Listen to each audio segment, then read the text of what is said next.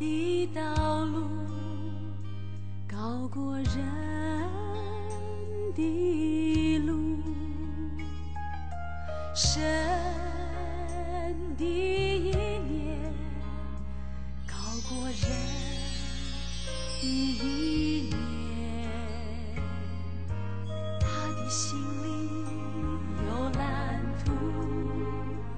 各位好，我们今天要再来看这个紧张的战争。我们上次讲到哈，扫罗勉强献祭，不是因为信靠上帝献祭，为了要笼络人心、招聚军队在献祭，情有可原，但是理不可原谅。他知道单单依靠上帝就好了。那么结果他勉强献祭，被撒母耳责备，撒母耳也离开，百姓也离开，他剩下只有六百人了。啊，怎么办？非利士人越来越多了。那么感谢主。有一个约拿丹，他就主动的出击。他一出击啊，虽然只有两个人，把菲利士人阵营弄得乱七八糟。在撒母耳记上第十四章十六节那里讲到说，扫罗的守望兵看见菲利士人军众溃散，四围乱窜，就是大乱了。那我们说过，扫罗啊，还看看是谁出去了，然后要问问以福德，越来越乱。扫罗最后就跟祭司说：“停手，停止，停止，停止！我们这时候是作战的时候了。”二十节，扫罗和跟随他人都聚集到战场，看到非利士人用刀互相击杀，大大慌乱。那这个时候呢，从前由四方来跟随非利士军的希伯来人，哦，这我们看到，哎，以色列人真是也是很不忠贞呐。所以后来啊，大卫的军队里面也有人说是不生二心。我们对上帝不要生二心，我们专心对上帝，我们对人就不会生二心，不会朝秦暮楚、墙头草了。对我们的婚姻感情也都是这样。而以色列人生了恶心，因为扫罗也是二心啊。他从全然依靠上帝到要笼络人心，他只要有神心就好了。不是说我们不要人心，而是对人的忠心是建立在对神的忠心上。对神忠心，我们才能对人好，因为一切的良善从神来。很多人跟随非利士人、希伯来人，这些人真吃里扒外。危机的时候，赶快去墙头草跑过去了。现在转过来帮助跟随扫罗和约拿丹的以色列人了。那这我们当然也要说了，人的帮助真是枉然的啊！这些人会回头也是好，但是我们也从这里知道人多么不可靠。今天帮你，明天可以又弃绝你。哎呀，我们在春秋战国，甚至在民国历史上，有倒戈将军冯玉祥，我也不知道有几个人不是真是墙头草。哎，最近我看到 这个一些回忆录哈，包括老总统身边的一些侍卫啊，哇，老总统的贴卫贴身侍卫应该是最忠贞的嘛，啊，现在也写出很多不堪入目的一些事，是不是真实我都不知道。那人的忠心真是。很有限哈，好了，扫罗现在就赶快去追了。扫罗追以色列人追二十二节，藏在以法莲山地的以色列人听说非利士人逃跑，也赶快去追。人都是这样，真的是就是买敢买股票一样的，拼命买买，每个人都搭错车子，又拼命卖，又双倍的损失。那日耶和华使以色列得胜，一直战到伯亚文，就一个人。就是因为约拿丹，所以不在乎你献祭，不在乎你的形式，在乎你是不是信靠上帝。那扫罗呢？约拿丹得胜啦，那扫罗呢？又犯错误了。你就看到他优柔寡断，而且在断的时候又断错了。十二十四节，扫罗叫百姓起誓说：凡不等到晚上向敌人报完了仇，吃什么的，必受咒诅。因此这日百姓没有吃什么，就极其困惫。众民进入树林，见有蜜在地上。他们进了树林，见有蜜留下来，却没有人敢用手取蜜入口，因为他们怕那誓言。约拿丹没有听见他父亲叫百姓起誓，所以伸手中的杖，用杖头粘在蜂房里，转手送入口内，眼睛就明亮了。哦，这个他写的很仔细啊。你看扫罗啊，一只延误军机啊，该攻的时候不攻，一直守在那里不敢攻，不敢攻。到了敌人。大乱的时候也不敢攻，要问这问那，问这问那，到最后实在是菲利士人自己杀自己才去攻。一攻呢，他又攻过头了。你攻也要想到人的体力有限啊，不准吃饭，拼命要去打仗，把敌人通通杀完了才能吃饭。哎，人不是铁打，铁打的也有累的时候，金属也会疲劳，何况人呢？他这时候你就看到他糊涂了，做决定做错了。我们自己看历史上面啊，学教训啊，真的需要一个头清楚的头脑，因为每种教训都可以学，也都不可以学。有的人的政策是快，有的人政策是慢，有人政策是是是闪电战，像汉尼拔就是这样子，希特勒也是这样子，亚历山大也是这样子。有人是慢，后来把把汉尼拔把迦太基打败的。那个费边将军就是慢拖，快慢都有可学之处，也都有不可学之处，运用之妙，存乎一心。那么，我，扫罗就是该快的时候不快，该慢的时候不慢。我们不讲世界上战略或者商机，或者是这些，我们不讲，因为我们不懂这些，这也不是我们的内容。我们要讲的是，你去依靠上帝，不管你是商人、是军人、是老师、是谈恋爱。我们都可以因为信靠上帝而走在一条正确的路上，而且在正确的时间做正确的决定，而且持守这个正确。敬畏耶和华是心，呃，是是智慧的开端。扫罗没有智慧，他因为现在他最关心的只有一个，就是保住王位。王位是好的，是神给的，但是神说不要久，你就不要担心嘛，好吗？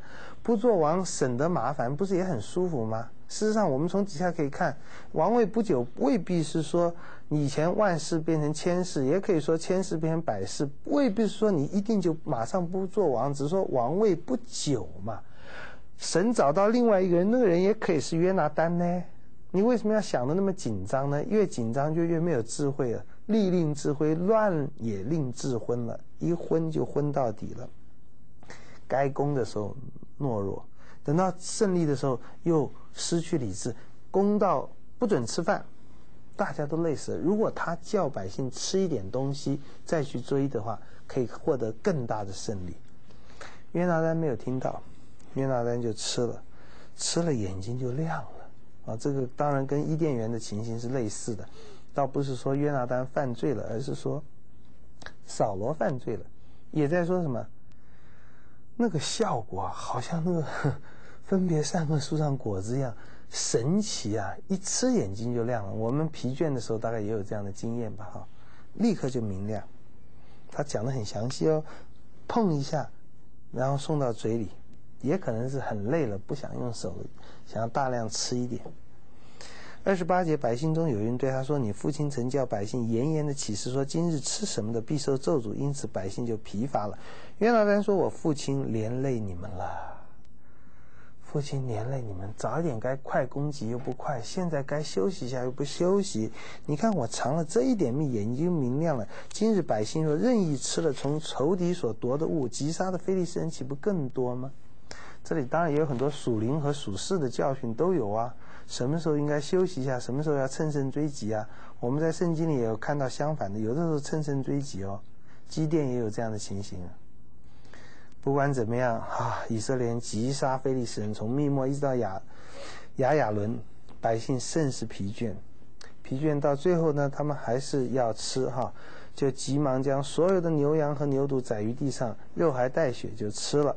这个吃的罪过呢，就是他们吃了带血的东西。那么这个就不单是扫罗的问题了，这个是上帝说不可以，但他们实在太饿了。太累了，所以到了日落，就是那天已经完了，可以吃了。可以吃的时候呢，但是你起码要把血能够流透啊，还带血就吃，实在太累了，是犯了耶和华的规定，但这是扫罗造成的。三十三节有人告诉扫罗说，百姓吃带血的肉得罪耶和华了。扫罗说：“你们有罪了。”多么容易看到别人的错，你们有罪了。对了，是有罪，可是罪魁祸首是你扫罗。本来不必，这一切是一个美好的大胜仗，反败为胜也是上帝怜悯你，给你这么好的儿子，你就是哈，因为离开上帝做的决定都不对，还说你们有罪了，把大石头滚到我这里来，这个大石头滚到这里来的要足坛的。扫罗又说：你们善在百姓中，对他们说：你们个人将牛羊牵到我这里宰了吃，不可吃带血的肉，得罪耶和华。这夜。百姓就把牛羊牵到那里宰了。扫罗为耶和华筑了一座坛，这是他初次为耶和华筑的坛。为耶和华足坛，因为这是一场大胜利。我们就想到，他如果早一点有胜胜利就足坛也是好啊。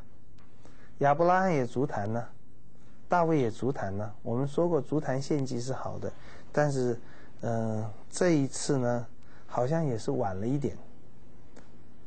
扫罗说：“我们不如夜里下去追赶非利士人，抢掠他们，直到天亮，不留他们一人。”众民说：“你看怎样好，就去行吧。”祭司说：“我们应当先亲近神。”注意哈，扫罗这时候说这话是不是也很笨呢？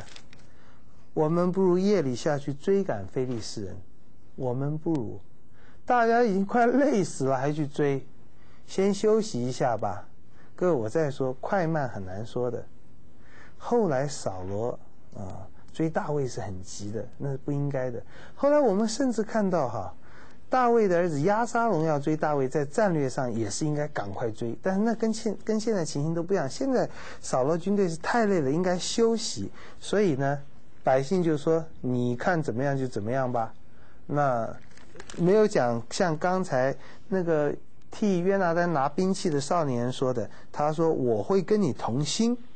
他们没有说“我跟你同心”，意思说我们很累了，我们不想，而且你不准我们吃吃东西的时候，实在已经把我们累坏了。祭司就说：“先问问上帝，我们先亲近上帝。”这是扫罗的错，你急什么？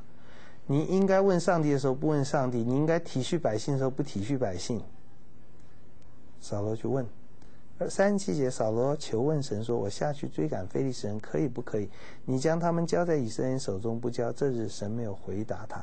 神不讲话了。扫罗说：“你们百姓中的长老都上到这里，查明今日是谁犯了罪。我指着救以色列永生的耶和华起誓，就是我的儿子约拿丹犯了罪，他也必死。”哎呦，何必讲这么大话嘞？他大概以为绝对不会是约拿丹嘛？约拿丹是好孩子，顺服父亲，爱上帝，怎么会犯错？各位，什么话不要说的那么满。不是说我们要谨慎小心，而是说我们真知道我们什么都不能保证的。所以，呃，在呃箴言里讲说，你不可以不可以做保啊，那并不是说不要帮助人，而是说你是谁呀？你能保障人吗？你能保证人是怎么样？你自己都不能保证。我想我们是可以做保，是可以帮助人，但是你要知道，你没有办法保证任何人做任何事。人心不在你的手里。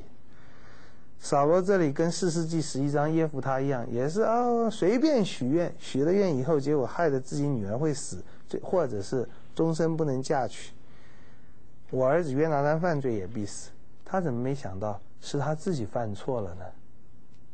整个今天这件事情，上帝最后让他停止了，我想也是好，因为扫罗这时候太糊涂了，他承受不了胜利的欢喜，他也承受不了众民散去的恐惧。他不是一个领袖人才，说起来连项羽也不是，是他是西楚霸王啊。他力拔山兮气盖世，但是他的胸襟、他的眼光不够，不如刘邦。扫罗也没有，他怎么可以现在讲这话？讲这话危害的是你的儿子哎！百姓都不讲话，这时候你都看到，扫罗不像一个领袖，没有民心，这么大的胜利，人家不跟随他，为什么？人家想跟随约拿丹，扫罗对以色列众人说：“你们站在一边，我与我儿子约拿丹也站在一边。”百姓对扫罗说：“你看怎样好就去行吧，哈，我们也没办法了。你要怎么样就怎么样。”这些话扫罗都没有想到是我自己错了。扫罗祷告耶和华以色列的神说：“求你指示实行。”于是撤迁，谁有错一撤，跟那个他们这样问哈，像选王一样，也像找那个呃那个耶利哥城以后爱城失败的。或罪魁祸首是谁？那时候没有侦探啊，只好这样找。一找，居然找到是扫罗和约拿丹，百姓都无事。再测，结果是约拿丹。扫罗对约拿丹说：“你告诉我，你做了什么事？”约拿丹说：“我实在以手里的杖，用杖头沾了一点蜜，尝了这一尝，我就要死吗？”呃，约拿丹说：“我真是冤枉。”啊！”约拿丹没有讲说：“ 真是你该死。”当他不会对他爸爸说：“你该死。”他还说：“我这样就该死吗？”我不知道他有没有意思。哎，今天应该颁给我一个青天白日光华勋章哎，我造成大胜利，结果怎么样？我要死呢？各位，你看这整个一场真是糊涂账，这糊涂就是扫罗的糊涂。怎么最大的功臣，甚至唯一的功臣要死呢？当然，我们也要问一个问题了：那天犯罪的人还不少，就先吃来讲，约拿丹犯了罪；就吃血来讲，百姓也犯了罪。为什么抽出来的撤签撤出来是约拿丹呢？就糊涂来讲是扫罗犯了罪，为什么撤出来是约拿丹呢？我想整个事情是上帝要提醒扫罗，当然不是说，我觉得不是上帝要定约拿单罪，是要叫扫罗反省一下，你很糊涂了。我说你不应该做以色列的王，你不能做的久，就是因为你这个心态不对。我拣选你的时候，你很，你给你一个心心，一个心灵，成为一个新人。你会谦卑的依靠我，那时候你可以。后来看到你不能成大事，太容易急躁，急躁一做事就乱。各位有些人，我是觉得真是有领袖，领袖那个才能，我们在历史上可以看到，不管是打球的好运动员，或者是将领，或者是政治领袖，或者是军事领袖，就是可以临危不乱，越为他越镇定，越知道怎么做。不是领袖就越围就越乱。我想一般小老百姓像我们大家都是这样，你不能领导的。哇，经济乱的时候，政治乱的时候，军事乱的时候，他就看出来哦怎么做。而我们就是人云亦云，乱的不得了。扫罗不是，上帝也是爱他。你不继续依靠我，我看你会越来越乱。我看你国位不要久了，这是爱他，希希望你活长一点，也爱百姓们。我说我们可以把这个想得非常好。我选另外一个人。你就好好休息吧，可以是约拿丹呢。扫罗从那个时候就更乱、更紧张，因为他太爱这个王位了。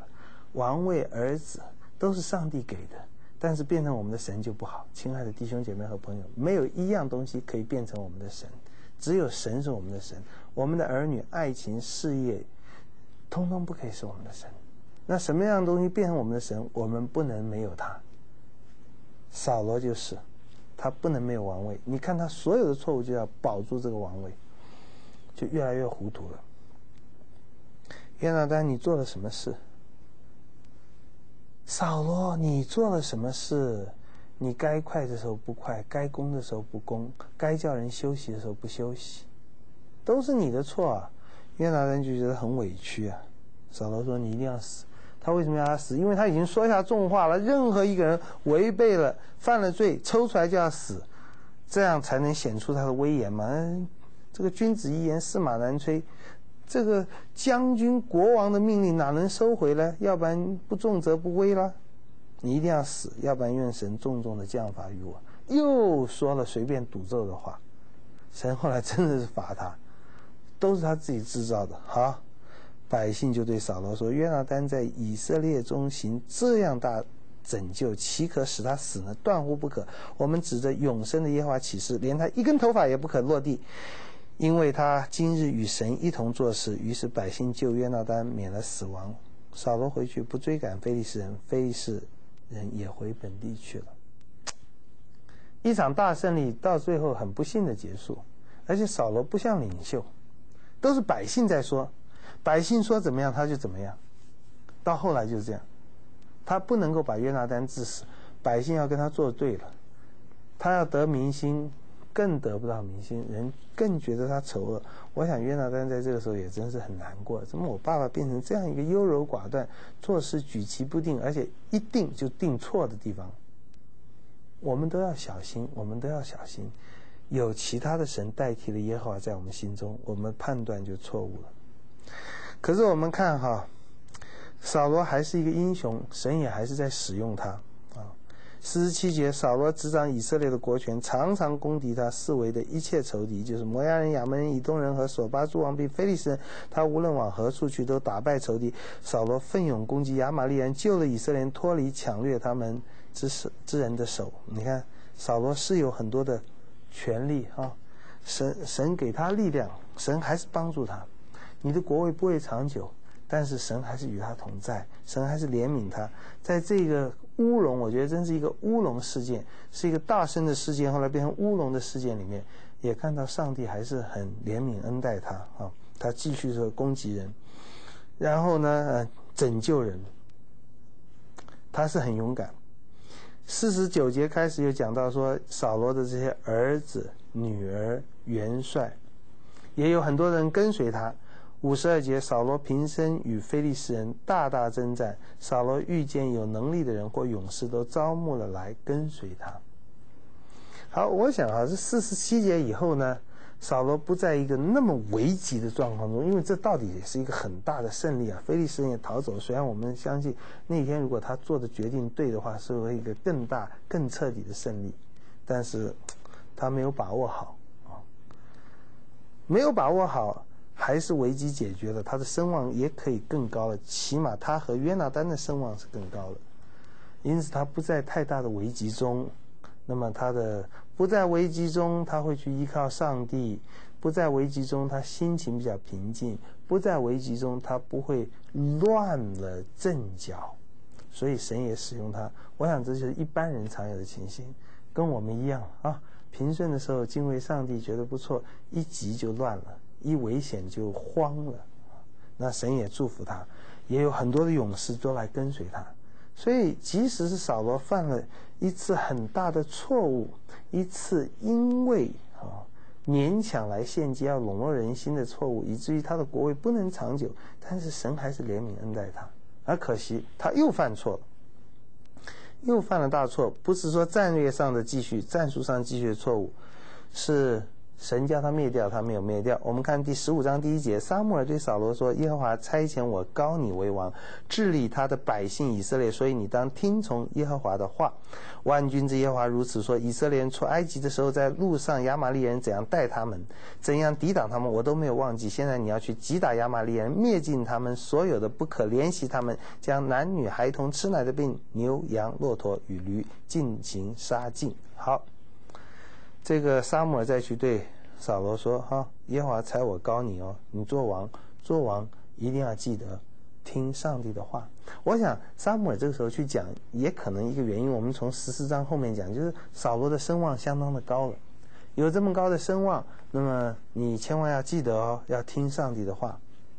那么现在你声望高，人力也足，所以呢，去击击打亚玛利人，击打这些迦南人。亚玛利人，我们在四十八节十四章四十八节看到亚玛利人呢，嗯，常常攻击以色列人。你现在要好好的消灭他们。神没有忘记，神什么都不会忘记，包括亚玛利人曾经怎么样对待以色列人，怎么对待呢？哈，我也跟各位一起看一段圣经哈，在生命记第二十五章第十十七节，生命记第二十五章的第十七节哈。你要纪念你们出埃及的时候，亚玛利人在路上怎样待你？他们在路上遇见你，趁你疲乏困倦，击杀你近后边软弱的人，并不敬畏神。这叫趁火打劫。在俄巴底亚书里面也讲了，以东也是这样。神非常不喜欢我们趁火打劫，伤害弱小的。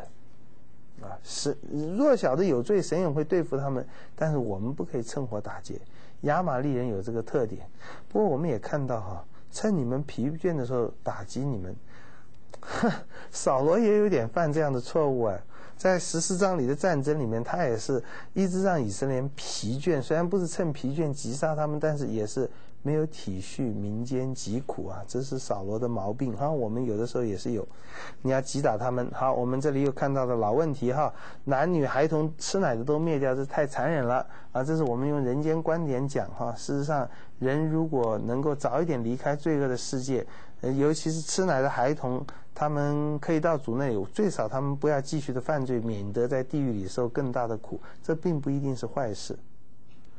那我们从新约来了解，要把这一切的杀害通通灭掉，那我们就要想到说是除去我们心中的罪恶啊，我们除恶务尽啊。以弗所书第四章就讲，不要把这些苦毒放在心里。我们在讲哈拿的时候就讲过，不要把苦毒仇恶放在心里，爱不计算人的恶，爱不计算恶的。那么哥林多后书第六章也讲到，我们跟这个世界。不能相干啊！《格林多前书》第五章也讲到要把这些面教除掉。我想都讲一件事情，不是说我们离开世界，不是我们自命清高，而是说我们常常求神，时时刻刻求神，让我们心中没有那些邪念，不要单言在那些邪念里面。好，在旧约的时候，那个邪恶的是外在敌人，其实也是我们内心中的，包括扫罗自己。最大的问题不是亚玛利人，不是非利士人，哼，是扫罗自己。好，神要扫罗去攻击亚玛利人，扫罗也做了啊。在第四节，扫罗就聚集百姓在提拉因，哈，有二十万步兵，还有犹大一万人。扫罗到亚玛利的京城，在谷下谷中设下埋伏，哈。那么也先跟基尼人讲说：你们离开后，我们不要一起消灭你们，因为你曾经恩待过以色列人。于是基尼人就离开了，然后就是一场战争。扫罗也打胜了，又打胜了，是非常大一场胜利，从哈菲拉一直到埃及，然后生擒了亚玛利的王，然后拿到了很多的东西。哦，感谢主，又是大胜！亲爱的弟兄姐妹和朋友，大胜当中，大胜之中，居然产生了一个大败，非常可惜的。啊，我们常常真的是人正说平安稳妥的时候，是最危险的时候，就是他又忘记上帝了。又没有遵循上帝的话了。胜利带来失败，有的时候失败也带来胜利。如果我们谦卑，但这个是胜利带来了失败，这是怎么样一个失败呢？啊，我们下一次再讲。愿上帝赐福大家。